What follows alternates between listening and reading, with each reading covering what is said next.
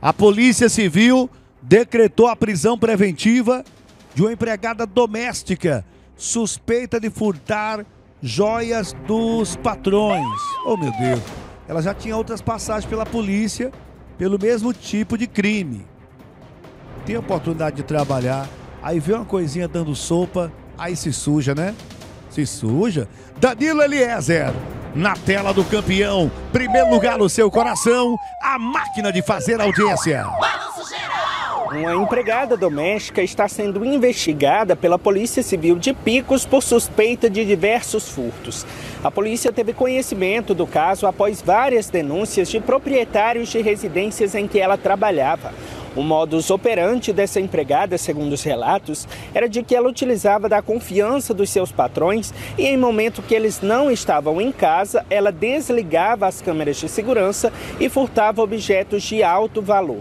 Como as residências em que ela trabalhava era de pessoas de uma alta classe social, a maior parte dos objetos furtados eram joias. Os furtos são estimados em cerca de 100 mil reais.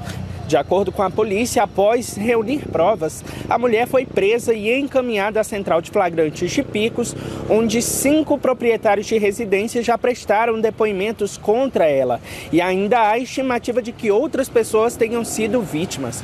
Ela passou por uma audiência de custódia e teve a prisão preventiva decretada. A Polícia Civil de Picos cumpriu mandado de prisão preventiva de MSC, 42 anos. MSC é uma mulher é, que exercia as funções de empregada doméstica.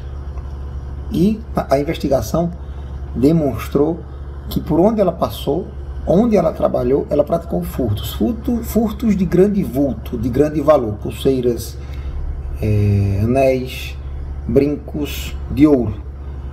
É, ela trabalhou em cinco residências. E ela tinha um modo peculiar de atuar, um modus operandi bastante singular.